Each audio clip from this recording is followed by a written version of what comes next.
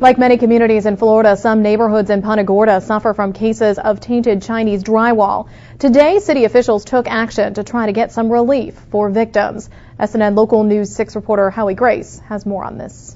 Chinese drywall is a problem plaguing many communities across the country, and Punta Gorda is no exception. Right now, the count is a little over 120 condo units here in the city. Abandoned and vacant units started to cause a problem with homeowners associations that were not able to collect dues on those units. If they fold up their operation, and they were pretty close to doing that, then somebody's going to have to mow the yard, somebody's going to have to trim the bushes, somebody's going to have to paint the front doors. So I don't think the public realizes how devastating the Chinese drywall problem is. Jennifer DeGlopper is the condo association president at Peace River Condominiums, where Chinese drywall was discovered in seven units, including her own.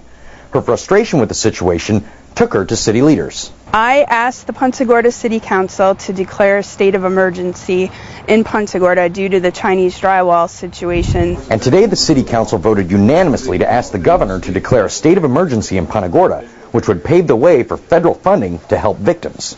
We have a disaster here in Florida, and it's called Chinese drywall, and it's just as bad as a hurricane.